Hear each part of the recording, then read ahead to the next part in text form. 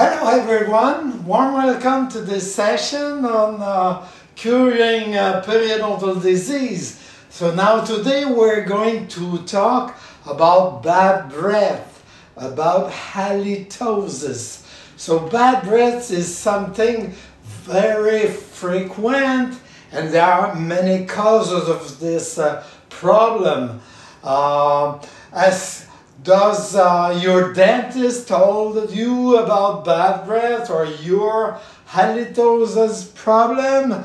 Uh, many, many people have population, have some problems. So it is very frequent and it is very difficult to live with bad breath. So you have to do something. Why did your dentist talk to you about bad breath? I think the most difficult problem, even for the dentist, is how can I tell my patient he's having bad breath? Okay?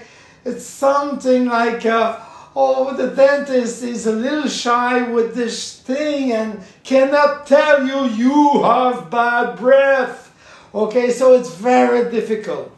So today I'm going to give you some kind of a solution how to get rid of bad breath and find a solution for this problem. Okay? So the first thing is you have to know about your bad breath. So it is difficult to ask your friend, to ask your spouse, do I have bad breath? Oh, no, no. You don't know what to do. So one good trick for that is nice and easy. So what I'm going to tell you is very easy to do.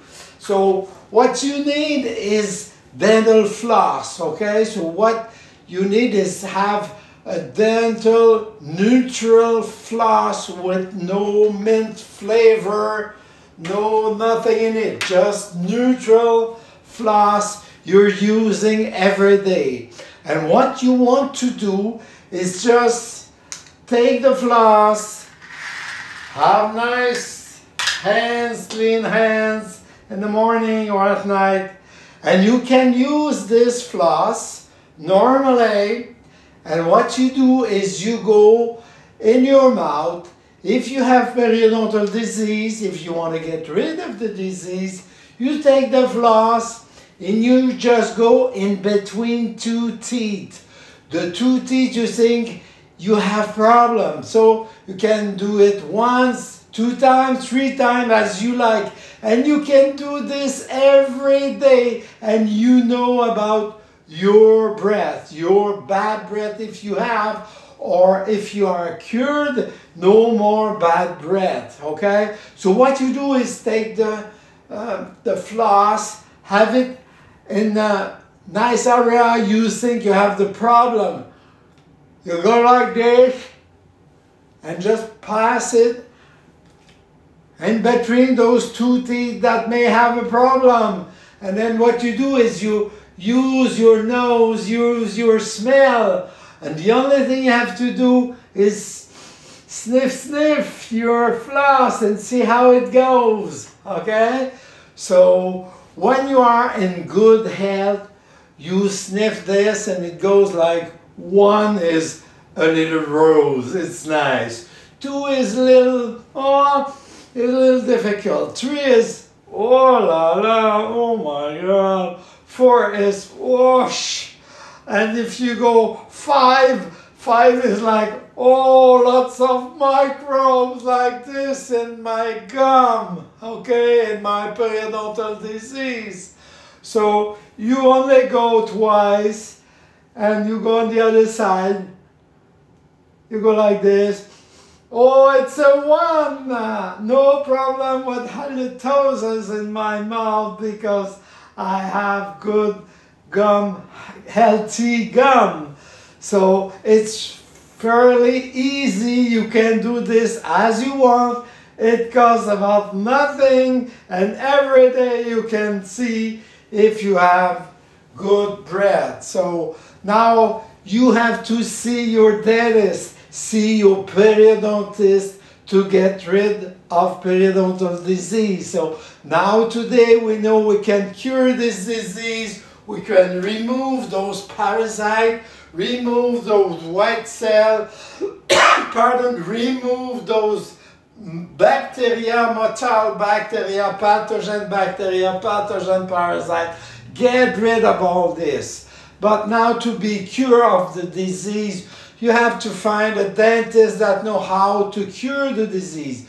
Yes, we can cure the gum disease, but the easiest way to have a dentist with a microscope. If you have a microscope, the dentist has a microscope, he knows what's in your gum and he can remove those bad parasites eating your white cell and red cell. Okay, so I give you a little way how to do it to prevent or to start curing your uh, disease. So the best thing, remember, I made a movie on this, how to uh, brush your teeth. So just make you a little rewind, reminding of how to do it. So you take a little bit of hydrogen peroxide and you take a little bit of it, just one cap. So you use this to brush your teeth. You add two parts of water, one, two, and then you take your brush and you go bass modified with your hand and you go like this to brush morning and night during treatment. So use the brush, 45 degree, just a little motion and go roll, roll, roll, roll four times. You do that inside, outside, four times, four times, four times. That's okay. That's how you brush. And you can use Torrens powder too. So Torrens powder, you make it. It's easy with baking soda and salt. Baking soda, 6%, 1% of salt. Normal salt, you just put this in a little glass and you put it on your gum with your wet finger. You put a little bit of this powder, Torrens powder. You just add it a little bit on your gum line and you let it work for 15 minutes. So watch if you cannot have salt because this is salt, okay? And you spit the excess.